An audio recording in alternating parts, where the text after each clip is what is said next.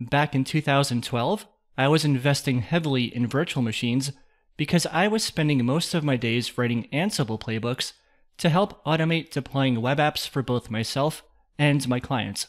If you don't know what Ansible is, that's okay. For now, just think of it as a magical tool that lets you write down some rules which dictate what files and services should be on a server. And then after running Ansible, your server will be configured based on the rules you wrote. There's a lot more to Ansible, but it's not important to understand it for this story. My goal was to figure out a workflow on my development machine which let me spin up brand new servers to run my Ansible playbooks against. This way, I could be confident that my Ansible code worked because it would be well tested. This is when I started to use virtual machines.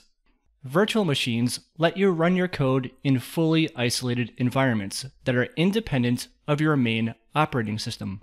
You can think of a VM as a computer with an operating system running on it, except instead of being real hardware or having to dual boot, it's virtualized hardware done at the software layer. Hence, it's a virtual machine. The idea here is I could be running my main OS and just spin up a Linux VM as a testbed for my deploy scripts written in Ansible.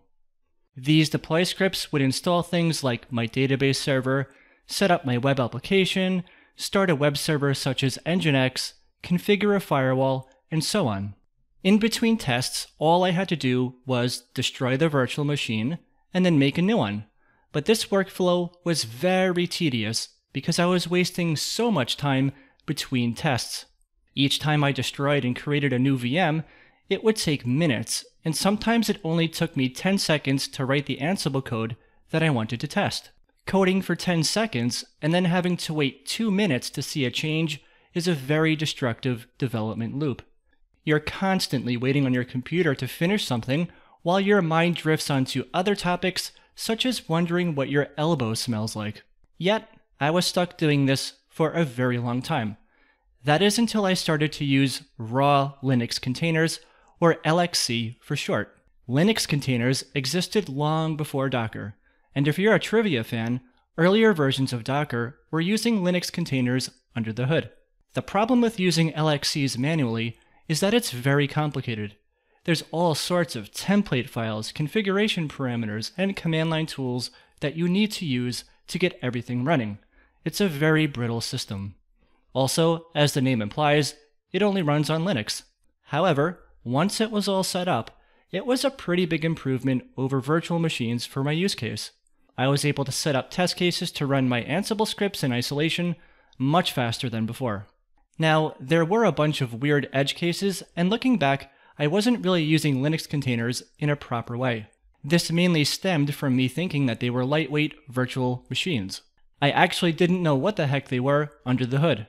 I just blindly followed some blog posts without looking into things on my own too deeply.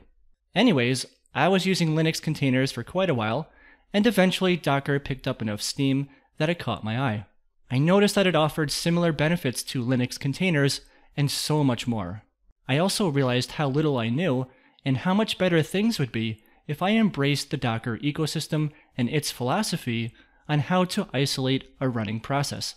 It was a complete mind blowing experience where it felt like everything I knew about web development and deployment was flipped upside down. So, now you know why I started using Docker and have stuck with it ever since.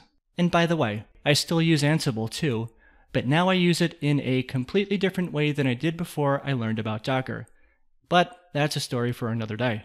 Let's wrap up this section by having you make an informed decision on whether or not you should learn Docker.